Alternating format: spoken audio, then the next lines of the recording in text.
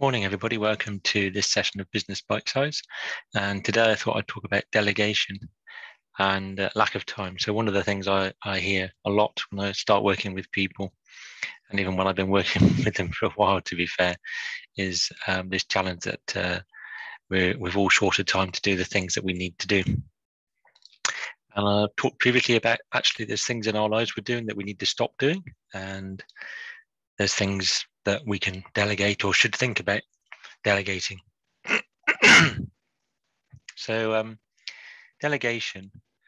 Uh, what stops people from delegating tasks to other people? Well, I think there's a, there's a number of issues. I think it starts with us, of course. And I think uh, one of the things that stops us is actually uh, the concern about what we're going to do next. So, um, we don't actually want to make ourselves redundant by giving away all our tasks to other people.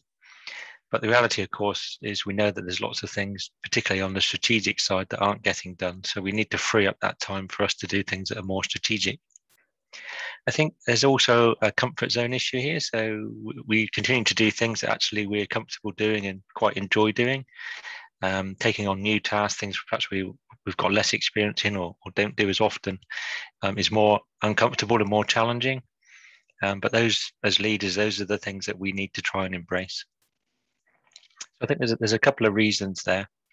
So what's the simple process to do with this? Well, the first thing is to go through the tasks, the things that you do, and identify those things that could be delegated. The second thing, of course, is to work out who you're going to delegate those things to. And then you might get into a bit of a cascade because that person will undoubtedly already be busy. So if you're going to delegate some of your tasks to them, you may need to start thinking about tasks that they would need to delegate down to the rest of their team. And then uh, thirdly, I think you have to think about the barriers. What, what, what is going to stop you from delegating tasks?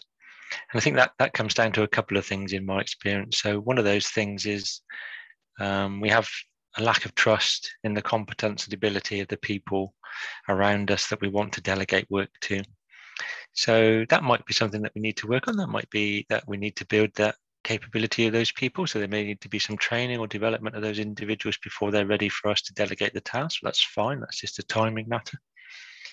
And the other one is it's back to the time issues. I've heard this so often.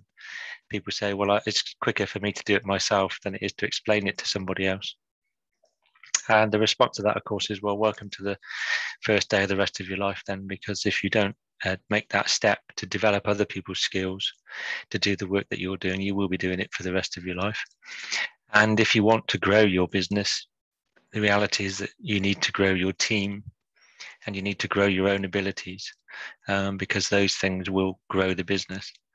So, back to my original point, you need to think about the things that um, perhaps you find a bit challenging, perhaps things that make you uncomfortable. Maybe they're the things that you're avoiding doing um, because you're choosing to do the things that you find relatively easy and relatively comfortable. Some of those things are incredibly important and need to get done for the business to grow. So I'd encourage you all regularly to sit down at least once a year, probably more often than that, just to think about the tasks that you need to delegate, how you need to develop the team to take those tasks on, and what new tasks you're going to be taking on to fill your time.